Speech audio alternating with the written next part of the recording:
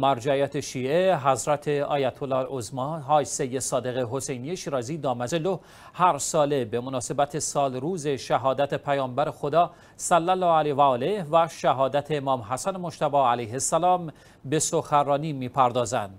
به گزارش شیعه ویوز اخبار شیعیان جهان بر همین اساس معظم الله روز سهشنبه به همین مناسبت به ایراد سخنرانی پرداختند. همکارم علی اکبری گزارش می‌دهد. مرجعیت شیعه حضرت آیت الله العظما حاج سید صادق حسینی شیرازی دامزلو در سخنرانی روز گذشته خود که در بیتشان در شهر مقدس قوم و با حضور علما، فضلا، فقها، خطبا، روحانیون، طلاب علوم دینی، مقلدان مرجعیت شیعه و عاشقان اهل بیت اسمت و تهارت علیهم السلام برگزار شد مطالب مهمی بیان فرمودند. معظم الله در ابتدای سخنرانی ضمن تسلیت گویی به مناسبت شهادت رسول خدا صلی الله علیه و آله و شهادت امام حسن مجتبی علیه السلام. خدمت امام زمان عجل الله تعالی فرج فرمودند. بعد از شهادت پیامبر خدا صلی الله علیه و آله حضرت فاطمه زهرا سلام الله علیها به مسجد ایشان آمدند و خطبه مهمی را ایراد کردند که باعث روشنگری بود.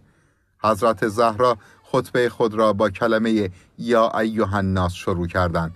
پس باید این خطبه به جهانیان رسانده شود و نه فقط به مسلمانان. ایشان افزودند حضرت ابا عبدالله الحسین علیه السلام و اصحاب ایشان برای این منظور به شهادت رسیدند که صدای حضرت زهرا سلام الله علیها به جهان برسد.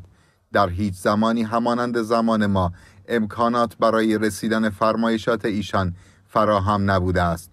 حضرت زینب سلام الله علیها و دیگر اعضای خاندان ولایت آن همه مشقت های فجی را تحمل کردند که صدای آشورا را به مردم دنیا برسانند.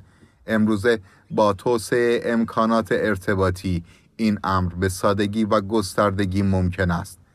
مرجعیت شیعه در ادامه افزودن. اهل باطل همیشه از دو طرفند بهره می‌گیرند یا دروغ می‌گویند و یا مقالطه می‌کنند.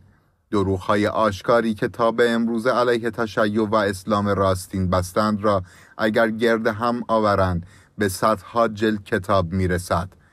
مکرر در روایات معصومین علیهم السلام درباره کسانی که به ناحق بر جایگاه شامخ ائمه تکیه زدهاند فرمودند جایگاه خود را در جهنم استوار و قطعی کردند.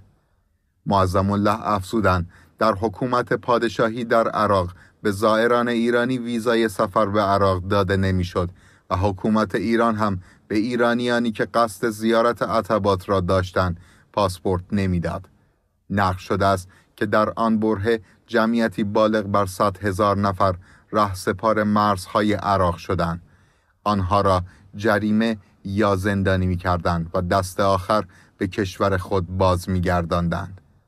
مرجعیت شیعه همچنین فرمودند مرحوم شیخ حسین کاشف القطا در یکی از آثار خود به نقل از یکی از کشیشان نقل می کند که گفته شما نمی‌دانید چگونه از امام حسین علیه السلام استفاده کنید.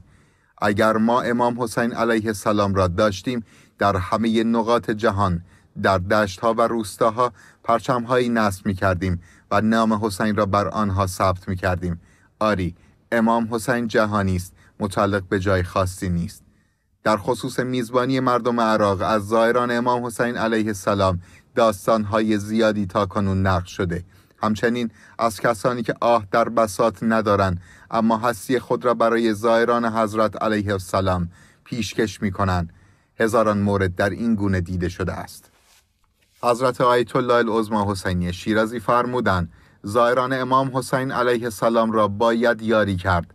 وای به حال آنان که کمک نمی کنند و در عوض زائران را اذیت می کنند پیامبر اکرم صلی الله علیه و آله حضرت سید الشهدا علیه السلام را در مقابل خود نشانده بودند و بی اختیار گریه کردند و فرمودند وای به حال آنکه می تواند حضرت را یاری کند ولی یاری نکند.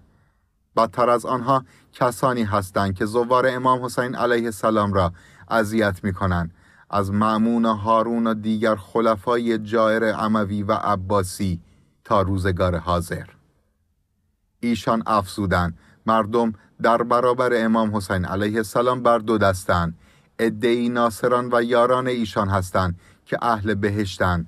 دسته دیگر کسانی که یا از یاری او خودداری می کنند و یا نستجیر بالله کارشکنی می کنند این دسته به مجازاتی بزرگ در جهنم گرفتار می شوند مرجعیت شیعه ادامه دادن. حج واجب است. هر کس که از آن روی گرداند یعنی مستطیب باشد و نرود او را مخیر می کنند که یا یهودی بمیرد و یا نصرانی. زیارت امام حسین علیه السلام برخلاف حج است که بنا به اجماع علما ترس از کشته شدن آن را باطل می کند و رفتن به حج کاری حرام شمرده می شود تا حدی که اگر کشته شود نمازهایی که در راه حج خوانده است را هم باید برای او قضا کنند. و اگر کشته نشود حجش باطل نیست ولی نمازهایش را باید قضا کند. اما قصه زیارت امام حسین علیه السلام چنین نیست.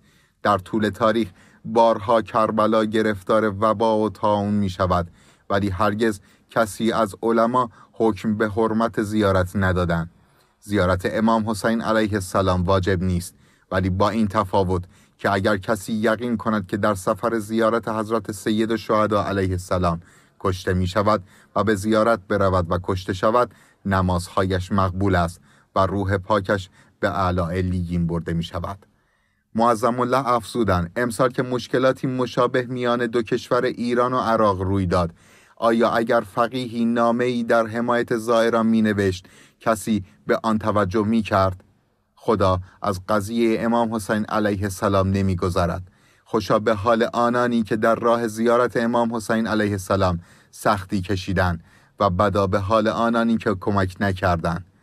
قرض دادن به زائران حضرت سید و شهدا علیه السلام نصرت ایشان است قرض گرفتن سنت رسول خدا صلی الله علیه و آله بوده است آنکه استطاعت مالی رفتن به زیارت حضرت را ندارد قرض کند.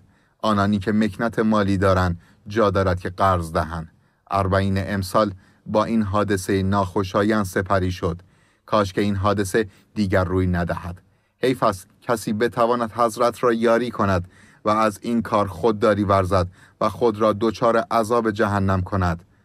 حضرت آیت الله العظما حسینی شیرازی در ادامه درباره خطبه حضرت زهرا سلام الله علیها فرمودند. خطبه حضرت زهرا سلام الله علیها چکیده ای جامع از احکام و عقاید و اخلاق اسلامی است.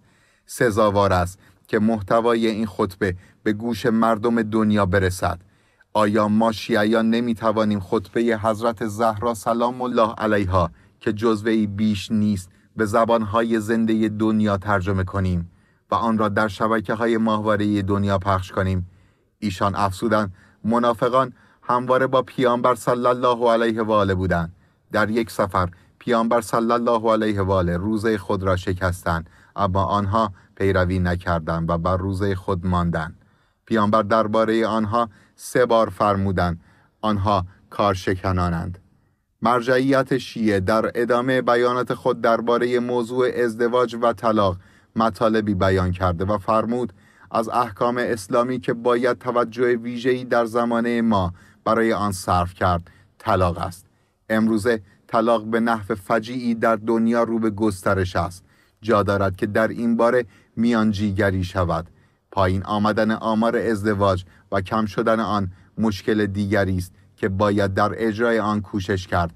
اگر بالا بودن مهریه مانعی برای ازدواج است چه بسا با میانجیگری و نصیحت کردن برطرف شود. پایین بردن آمار طلاق و افزایش آمار ازدواج از موارد مهمی است که باید به آن توجه شود.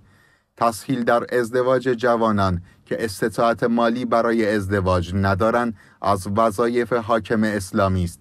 اگر امروزه حاکمان اسلامی در این کار کوتاهی کنند و جوانان به گناه بیفتند آن گناه برای حاکم نیز نوشته می شود جا دارد که در این امر کمک کنید و از طلاق ها جلوگیری کنید و ازدواج ها را آسان نمایید.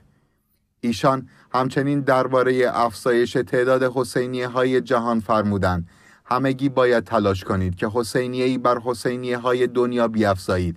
به خاطر دارم که ادهی به نزد مرحوم برادرم حاج سید محمد شیرازی آمدند و گفتند که ما در منطقه خود حسینیه‌ای نداریم. و توان احداث آن را هم نداریم. ایشان مبلغی جزئی به آنها دادند. آنها نیز ما بقیه مبلغ را در مدتی تهیه کردند و حسینیه ای ساختند. اکنون این حسینیه که با ساخت آن مبلغ جزئی شروع شد بیش از پنج میلیارد ارزش گذاری شده است. معظم الله افسودن حاضران در حسینیه ها اغلب خودکشی، ترور، سرقت و خیلی از جرم های شایع دیگر دست نمی‌زنند. اینها از برکت این مرکز است. تمام حسینیه ها در دنیا باید مدرسه شود. تعلیم عقاید و احکام و ضروریات دین واجب است. از این رو در هر جا که حسینیه ای نیست باید کوشید که حسینیه احداث کرد. دیگران که حسینیه ها را نوعا باید همانند مدرسه انگاشت و در آنها به تعلیم دین به جوانان احتمام ورزید. ایشان در پایان فرمودند امیدوارم اتفاق ناخوشایندی که در اربعین امسال روی داد دیگر بار روی ندهد. به ویژه از جانب آنانی که خود را شیعه می‌دانند.